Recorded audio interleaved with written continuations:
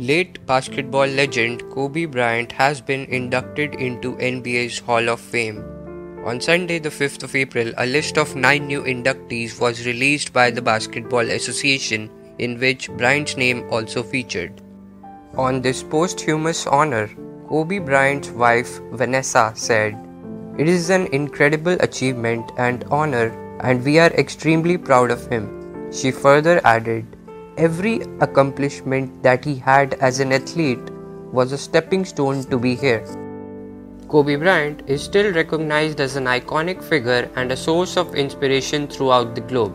Therefore, there is no doubt that the entire sporting world will acknowledge this statement of his wife. Also, in correlation with this are the scenes of January when the whole world came into a state of shock as the devastating news of the five time National Basketball Association champion's demise in a helicopter crash flashed everywhere.